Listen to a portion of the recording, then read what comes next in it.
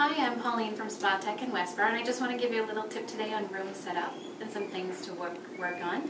I wanted to make sure that one of the most important things about a session is actually making sure that the comfortable, the client feels comfortable in your space.